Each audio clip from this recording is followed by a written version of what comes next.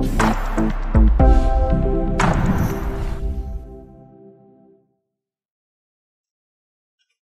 everyone, how are you doing today? I'm back with another video and today's video we have a Dell laptop. This one is a Dell Vostro 14 3000 series laptop. The exact model is a 3490 model and in this video I'm gonna take you on on step by step how to open it up and how to replace the battery for this model. This applies for any Dell Vostro 3000 series so it doesn't have to be exactly 3490 model. This applies for any 3000 series.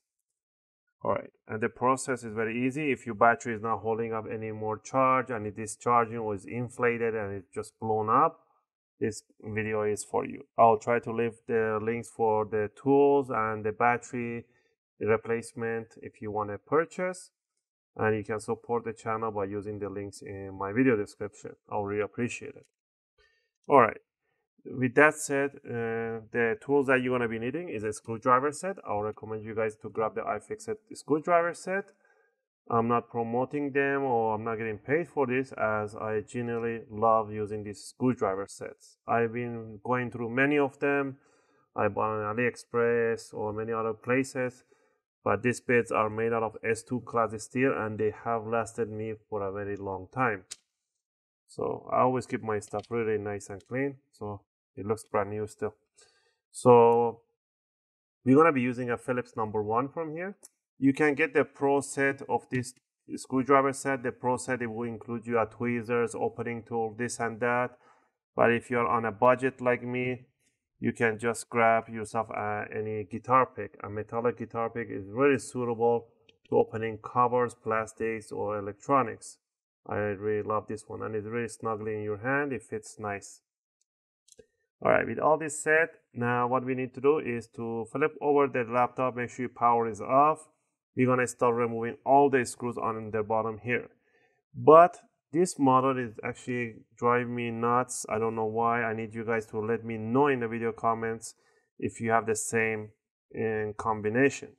All the screws will come out. They're all the same size and height except this screw, this one, and this one. The three ones that are beside the RJ45 connector on this corner. And they have a C-lock on them. That means the screw will not come out entirely. You just have to twist them.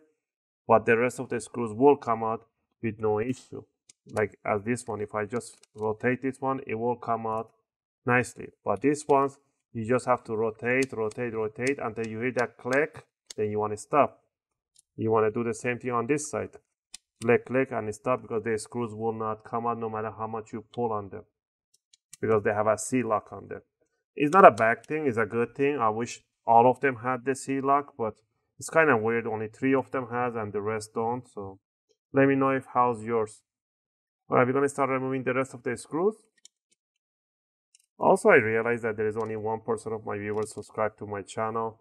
If you guys find my content useful and you want to support the channel, uh, you can do it by clicking that like and subscribing. I'll really appreciate it and it'll be a great support. Alright, now that we remove the screws that we could remove and loosen up the screws on this side, we are going to open up the laptop a little bit. We're going to grab our opening tool and we're going to stick it between the top and the bottom cover, just like that.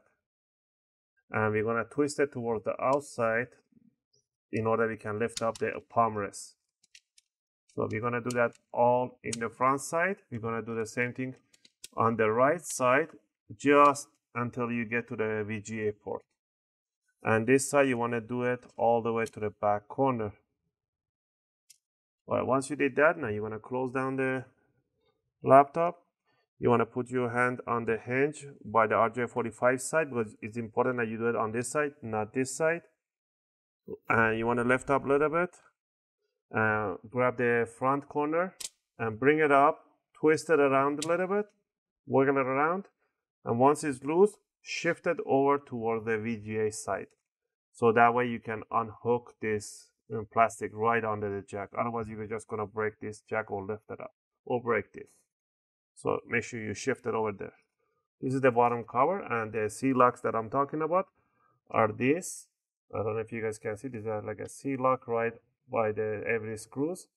I really like the C-locks. That means the screws will not get loose or anything like that. But I only have on three screws. I don't know why. I have made an upgrade on a SSD hard drive. I made a video on that. In this video, the battery, we're going to concentrate on the battery, which is right here. So the battery is a 42 hour watt hour battery, 11.4 uh, volt. And the model for this battery should be somewhere over here. There it is. It says model YRDD6. So I will repeat that's YR double D6. That's a 3500 milliamp hour battery. So I'll try to find the link for this one. To remove the battery, yeah, what you need to do, remove this screw, this screw right there, and the screw right there, and the screw right over here.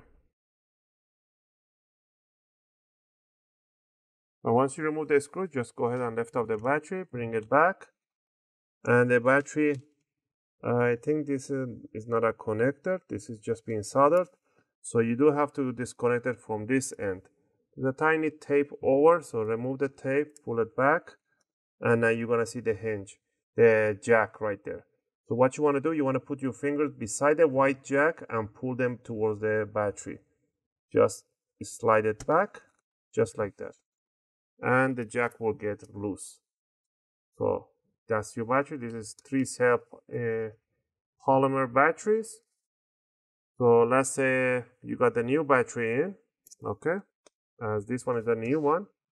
You want to grab the jack make sure you put it in the right in front of the connector and evenly push it towards the lap motherboard just evenly push it don't go sideways and then just put the tape right over. And the last thing would be to just align the battery in place by the screw holes. Make sure all these cables is nicely tucked in. And put the four screws for the battery to hold in place.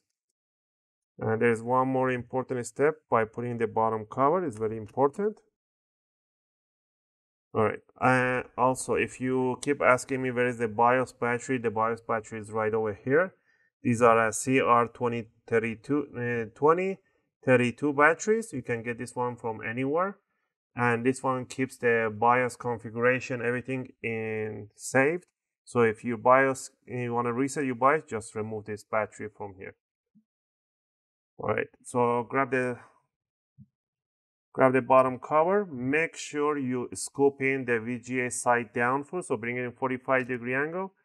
Scoop the VGA side right in there. And press down the corners. Go in the front. Just push down. Make sure you hit those click. Push the back side. Click.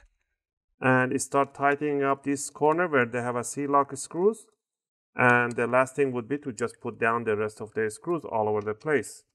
And this is how you upgrade your battery for your Dell Vostro 14 3000 series laptop.